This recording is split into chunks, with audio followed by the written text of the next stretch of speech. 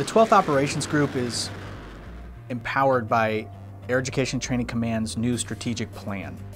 We're helping them in our testing of information management in the cockpit. Specific to flight, we have several different publications that we carry in the aircraft.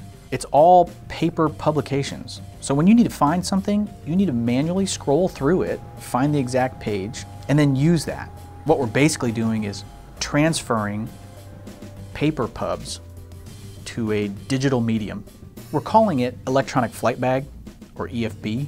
It's a tool for enhanced situational awareness and mission efficiency. It's not new to the Air Force. This is new to Air Education Training Command. Our goal here is to train like we fight. Right now, we're sending airmen out of Air Education Training Command. They're going to Air Combat Command or Air Mobility Command, and they're being issued technology there that they're going to have to learn on the spot. If we can download that information to the training environment when they first enter, this is first command. Let's, let's get that training done sooner so that we can learn more, we can learn faster. And that's the importance of all of this.